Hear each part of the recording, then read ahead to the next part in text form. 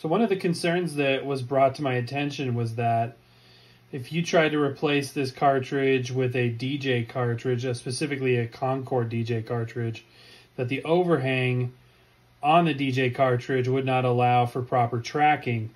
So I put on my Concorde DJ and I listened to this Peggy Lee album, which is a very good recording, by the way. And I did not have any distortion until I got to the very end of the last track. Like maybe the last 60 seconds of the last track. But prior to that, there was no distortion. It sounded rich, sounded clear, completely free of distortion. So I think that I could use this for the most part to listen to. It's still going to bear some more testing. It's only been an initial test, but so far it seems to possibly be a good fit even as a listening cartridge and I'm, I'm glad for that.